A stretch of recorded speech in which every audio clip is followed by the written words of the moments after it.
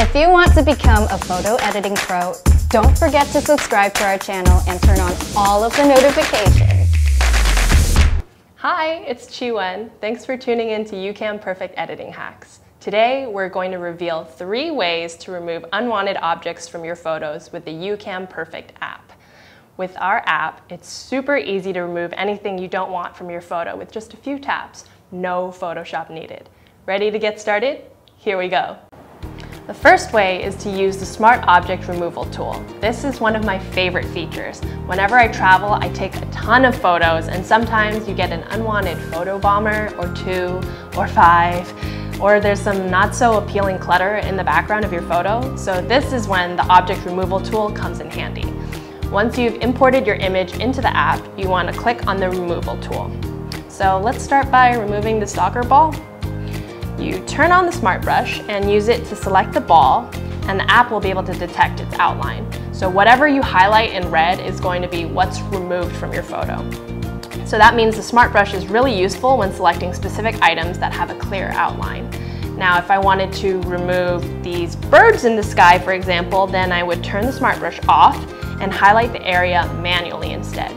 So you can adjust the size of the brush and then just color over the area you want to remove.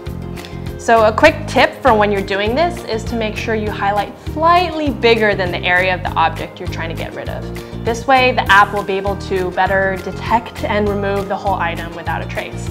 So once you're finished, click remove and ta-da! The app instantly erases the object and creates a filler background in its place, like magic. The second way is to use the Add Photo tool. By using this feature, we can copy a large chunk of a similar area from a photo and then paste it over to the place that we want to cover. So first, I'm going to save what I just edited, and I'm going to go ahead and remove these girls in the back, sorry.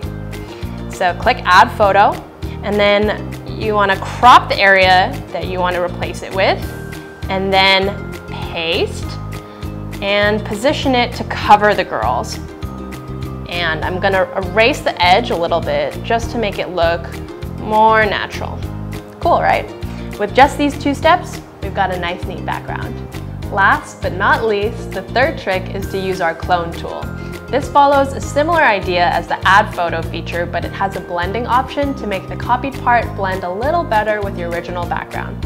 Let me show you how it works click on Tool and then select the clone feature.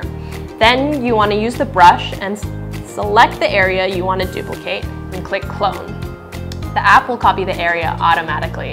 After that, you can just adjust its size and position to cover the part that you don't want.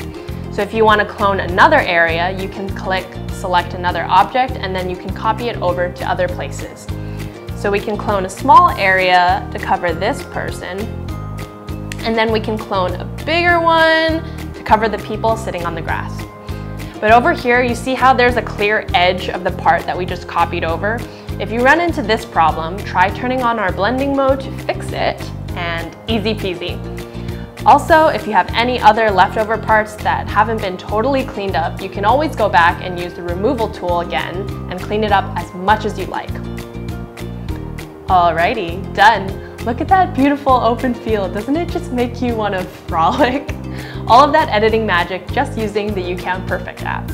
So here's our before, and I'm gonna have my Thanos moment now, after. How does it look? I think it looks good. That's all for today's video. That was three ways to remove unwanted objects from your photos. Don't forget to download the YouCam Perfect app and try these tricks out for yourself.